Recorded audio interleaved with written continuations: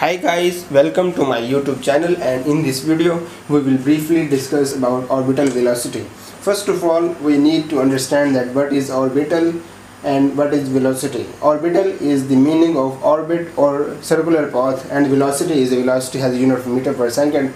The orbital velocity, the concept of this velocity comes from the sun. Every star like earth is moving in the around this earth in a nearly circular path but not a perfect circular path, nearly circular path. In order to understand this concept, we will apply this concept to the orbital velocity of uh, some satellites. So, uh, for example, we will consider that some satellites rotates around the earth in a nearly circular path but not a perfect circular path in with the considering concept of sun and earth and other stars because they are rotating around the earth around the sun in a circular path nearly circular path. So in order to consider this uh, we will consider that a satellite is moving uh, or rotating around the earth in a circular path having radius r from the center of the earth and mass ms is the mass of satellite capital m is the mass of earth having radius r.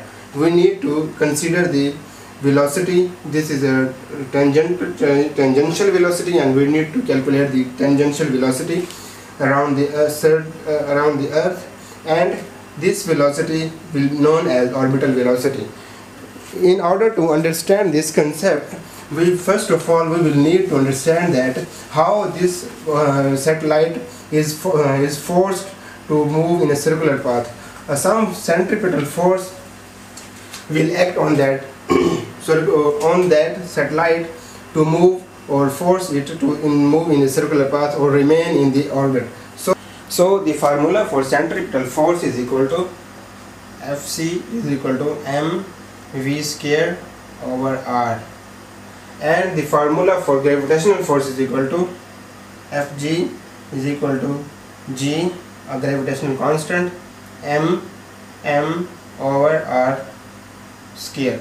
This small m is known as mass of satellite and this capital M is denoted by mass of earth. So these two satellites, these two forces are balanced to keep the satellite in the orbit. So these two forces are equal. If we make these two forces equal, the final answer will be m v square over r.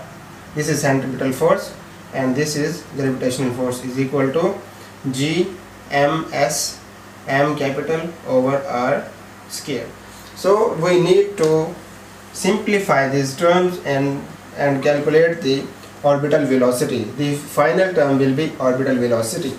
So if we cancel this m by small m then only v square over r is equal to g m over r square. You can say that uh, this r can be cancelled out by this r only v square is equal to g m over r. So our purpose is to calculate the velocity not a velocity square. So we will take square root on both sides. Taking square root on both sides the answer will be v square. Square root is equal to gm over r square root. So this square will be cancelled out by square root only velocity will be remaining. Velocity is equal to g m over r square root. This is the final answer. This is known as orbital velocity. It means that from this formula we can say that this orbital velocity does not depend upon mass of satellite. In this formula you can see that velocity is equal to g m over r square root. It means that velocity only dependent upon mass of the earth, velocity dependent upon the radius, radius of the circle. For example, this is earth, this is center of the earth and some object is rotating around the center of the earth. So we have given that from the surface to the uh, satellite this for example the distance is 27 kilometer for example distance 27 kilometer. We need to calculate the total distance from the center of the earth. The, this center of this radius of the earth will be considered this is 6400 kilometer. General this is general term and it cannot be ignored.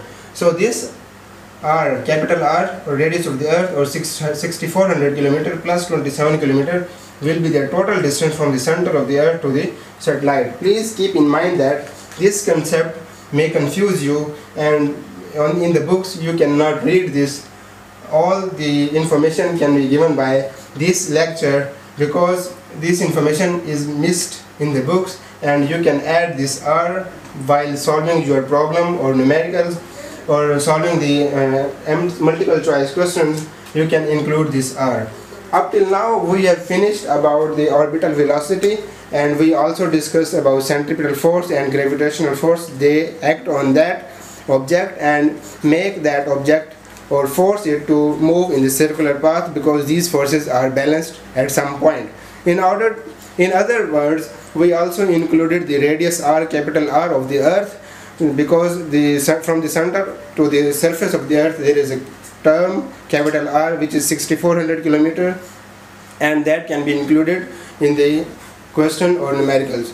Up till now we have finished the orbital velocity. If you like our video you can subscribe our channel. And if you are confused you can contact us. For more details we will give you updates. And we will see you soon. Bye bye